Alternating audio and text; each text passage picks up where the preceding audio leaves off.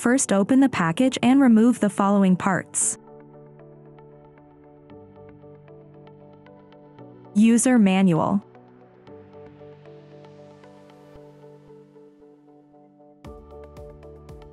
Box of a pair of standard level cuvettes.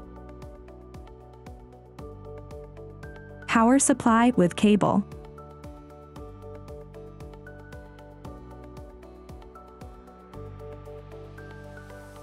And the dust cover.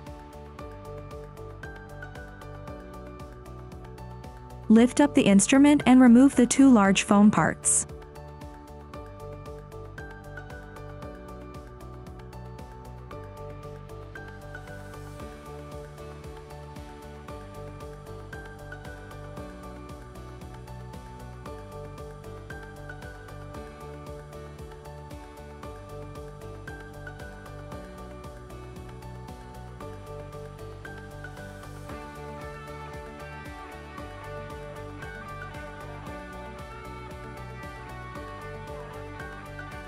Place the instrument on the bench and remove the stickers and the foam below the front cover.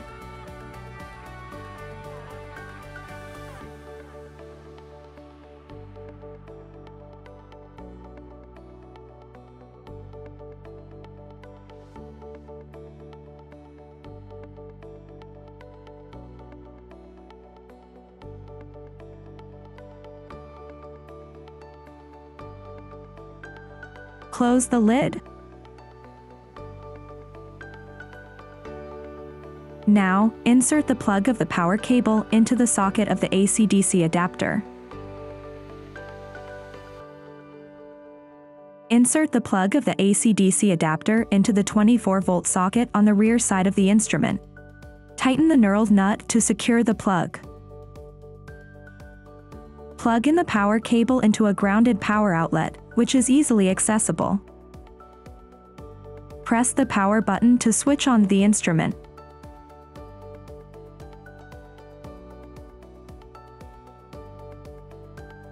Select a language and check by opening the lid whether the sample compartment is empty.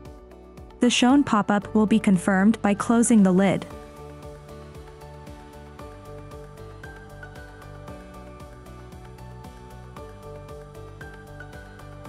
Wait until the initialization is finished. After the first startup, you have to perform adjustments. Go to Setup and Tools, Adjustments and select it.